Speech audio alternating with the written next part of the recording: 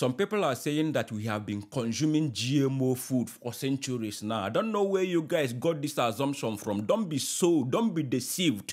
This is just a manipulative statement that these influencers use in order to, you know, in order to numb your mindset towards the doom that they are trying to penetrate into our society. If we have been using GMO food all these years, the farmers in the north, the farmers in the the, in Benue cannot see any seed to replant all these farming seasons of how many centuries. GMO seeds cannot be replanted. You have to be buying from where you got the first one every farming season. So don't buy to this their idea that we have been consuming GMO seed all these centuries. Let me tell you, they are different from genetically modified to crossbreeding. They are trying to confuse you with uh, with uh, genetically modified to crossbreeding. They are two different things. And then don't you try to compare GMO, genetically modified, to maybe fertilized farming. There are two different things. Use your head.